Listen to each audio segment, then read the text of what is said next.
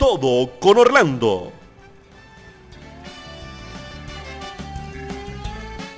Queridos amigos, sean bienvenidos. Yo soy Orlando Urdaneta. Están viendo ustedes CB24 desde el corazón verde de Centroamérica, transmitiendo para nuestra región, el resto del mundo, las galaxias circunvecinas y todos aquellos extraterrestres que se reportan a nuestras redes.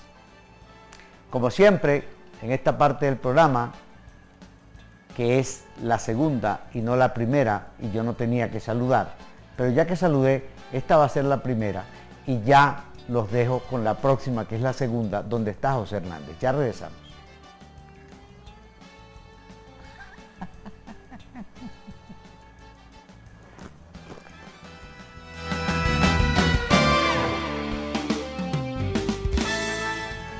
Continuamos amigos. Astrólogo y como biólogo, José Hernández es nuestro invitado semanal y hoy vamos a tocar muy, muy eh, de cerca el tema del señor Donald Trump ante los astros, porque realmente el destino del mundo está en manos de un enajenado en Corea del Norte, ¿verdad? Que no se sabe si de verdad sería capaz en algún momento de suicidar al mundo, por así decirlo, con su poderío nuclear.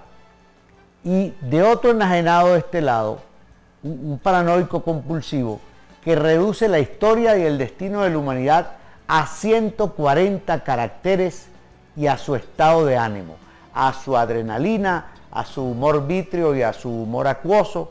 Ahí estamos nosotros navegando entre este par de locos en un mundo que para muestra basta un botón, está tan loco que está sufriendo, por ejemplo, España, nada más y nada menos que los embates de una intención separatista que al no dar su brazo a torcer, forzó una reacción del gobierno español inédita, inusitada y que también va a tener tan graves consecuencias como si se separaran, que es lo grave. José, ¿cómo estás? Un saludo a toda la, audiencia. Te quiero oír mejor a José. Te, te, digo algo, este, yo sé que metía Cataluña en esto, pero hoy era inevitable pero nosotros tenemos nuestro tema con el señor Donald Trump. ¿Yo estoy oyendo mejor a José ahora? A ver.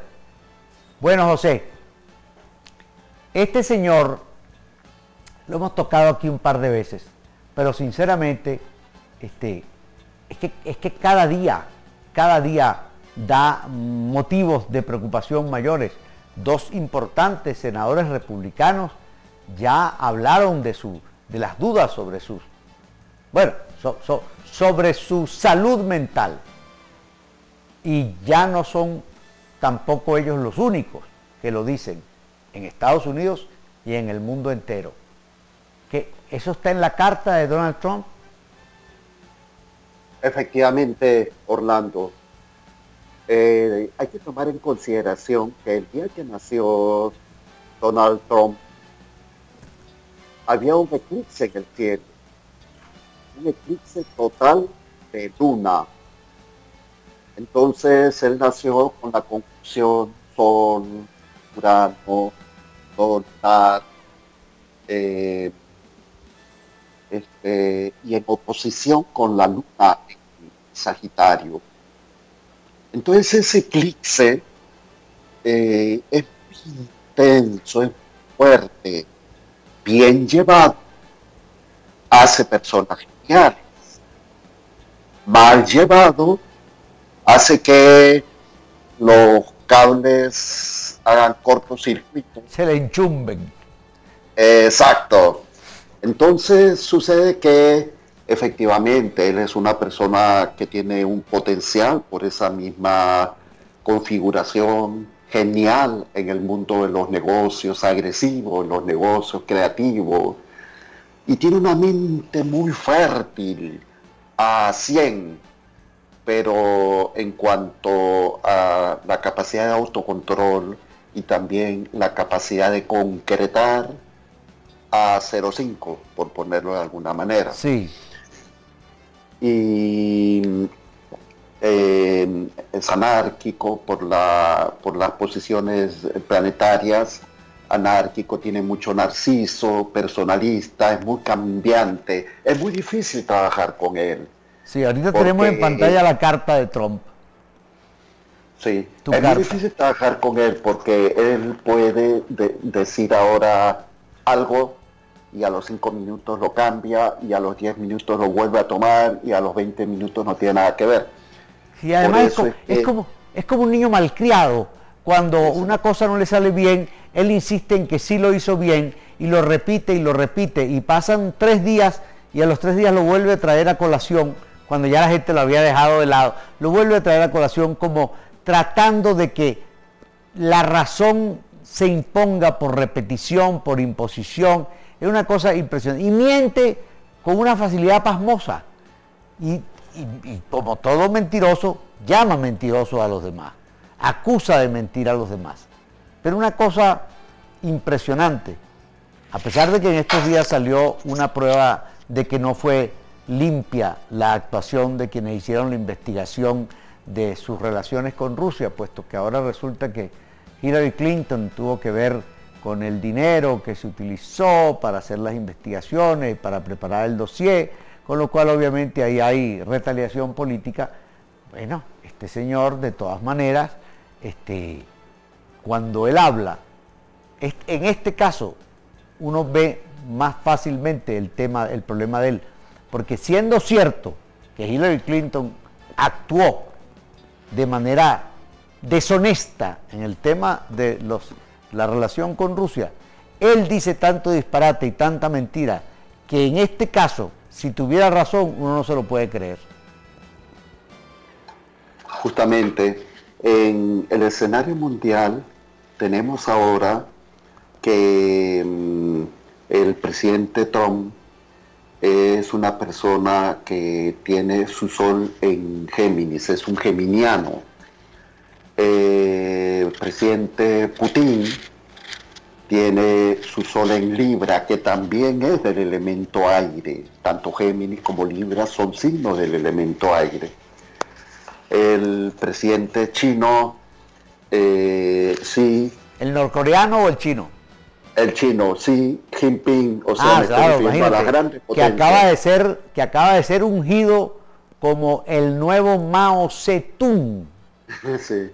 Imagínate tú, en la cultura china, que a estas alturas un tipo alcance esa misma jerarquía y cuidado, según los expertos, con un poder mayor, bueno, y obviamente con, toda la, la fuerza de la modernidad para que el mensaje llegue a más gente de una forma más directa. Vamos a hacer una pausa aquí y ya vamos a regresar, José.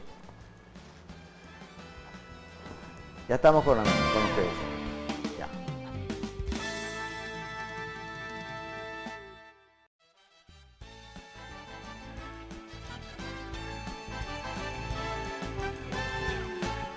Continuamos con José Hernández. José, dejamos ahí eh, pendiente, eh, te ibas a referir al presidente Xi, al, nuevo Mao de, esta era ah, de, la China. Exactamente, exactamente, al presidente Xi Jinping.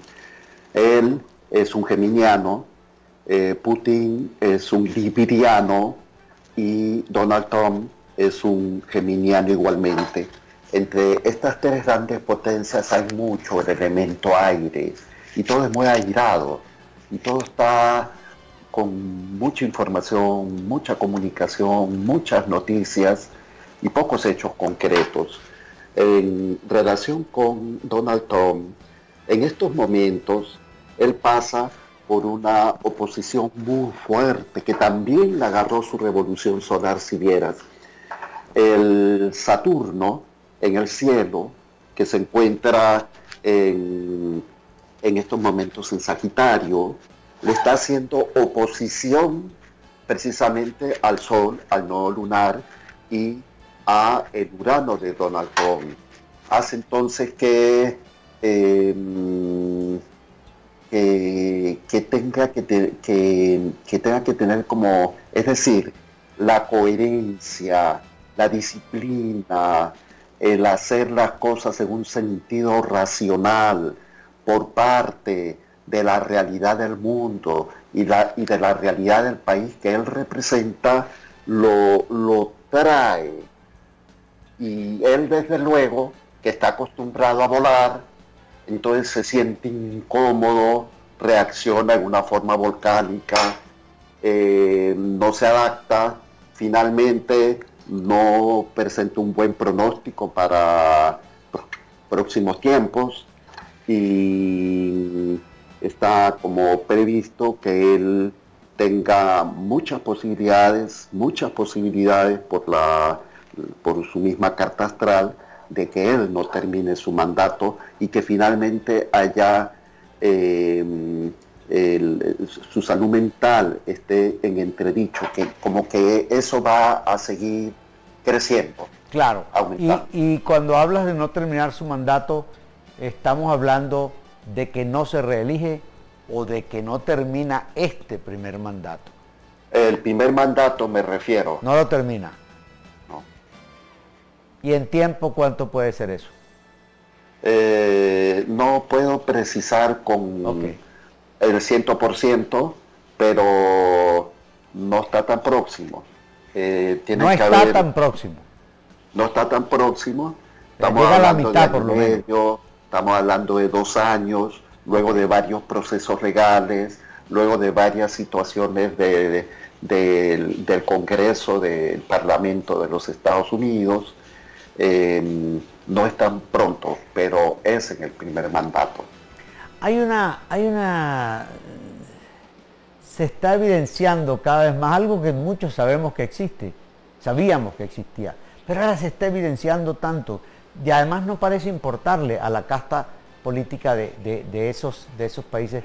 Y es que se está poniendo en evidencia que el interés partidista y obviamente el control del poder es supra lo que sea, incluida es supramoral, supraética, supra calidad humana o humanística, es, es supra todo. Luego, si un partido sabe que montó ahí a un enajenado mental, y eso ya lo hemos visto en otros países, pero uno decía, bueno, es el tercer mundo, es Latinoamérica.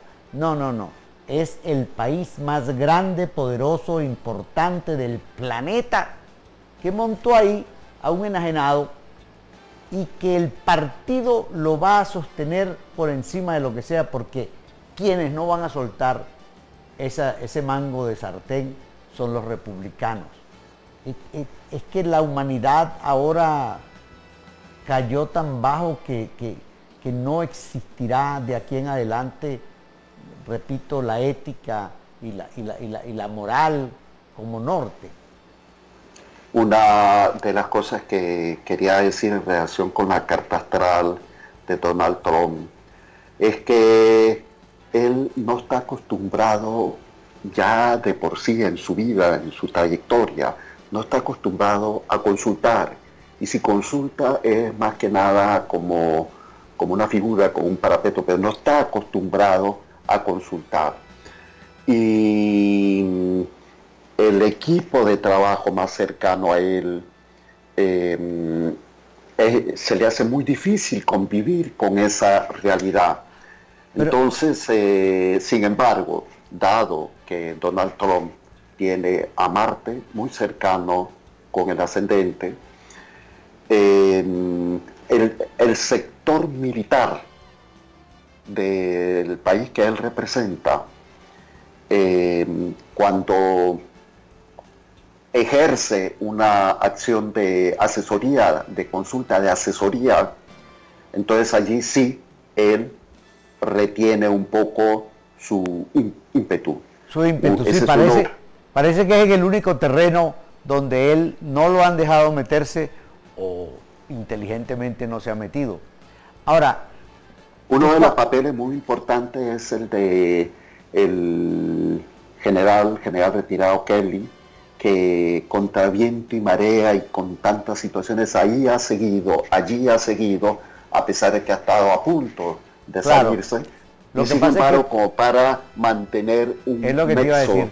Conociendo, conociendo el juego político en ese país, nada nos dice que no sea más bien obligado por la casta militar a mantenerse allí precisamente para tener ellos un cierto control. Pero te quería comentar que mientras hablaba en, en el momento anterior, yo a mí me vino de repente a la mente, porque a uno se le olvida, que este tipo toda su vida fue un truán.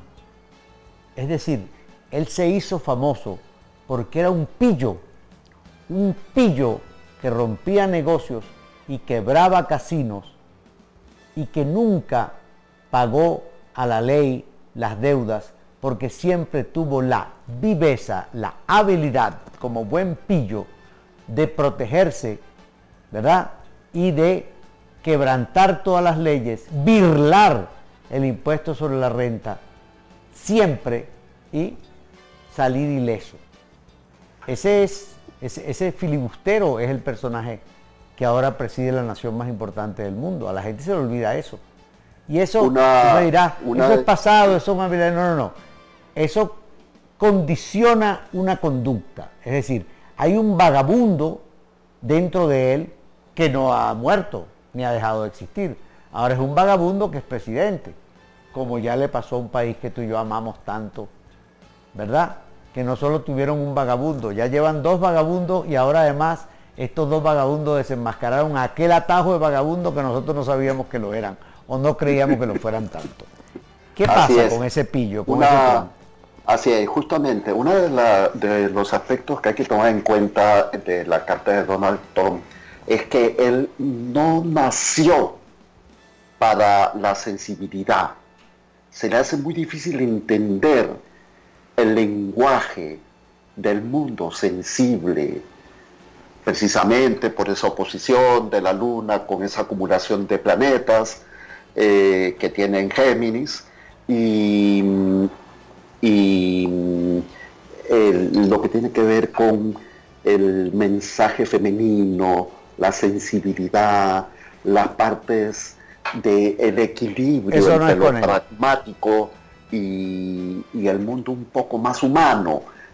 No lo computa, por ponerlo de alguna manera, no lo entiende, no lo computa, tiene que hacerlo casi como obligado, pero no lo entiende, no, no sabe sumergirse. Sí, y tiene toda la pinta además. Esa, será, esa sería la causa de su. Sí, porque tiene además toda la pinta, hablando de, humanidad, de tener muy pocos libros en la cabeza, si es que tiene alguno. Y eso se siente. Es decir, una cosa es que haya podido hacer mucho dinero y otra cosa es que se haya leído, aunque sea Platero y yo. Bueno, José, muchísimas gracias. Creo que hemos hecho un gran scanning del personaje. Gracias por habernos acompañado una vez más. Y nada, a ustedes gracias también por habernos permitido acompañarlo durante este rato. Que el Dios de su fe me los cuide y acompañe mucho. Nos volvemos a ver en esta señal. Gracias, gracias, gracias.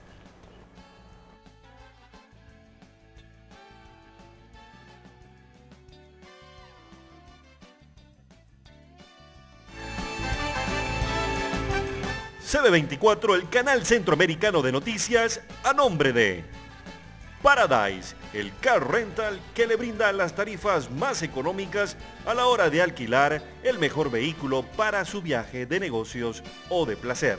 Cafetería y restaurante Mastranto, con el más exquisito menú de comida criolla venezolana. USEN, la Universidad de Ciencias Empresariales, formando hoy a los triunfadores del mañana. Carmix en Panamá para un acertado diagnóstico y el cuidado intensivo de tu vehículo en la calle 14 Río Abajo a 100 metros de Vía España. Presentó Todo con Orlando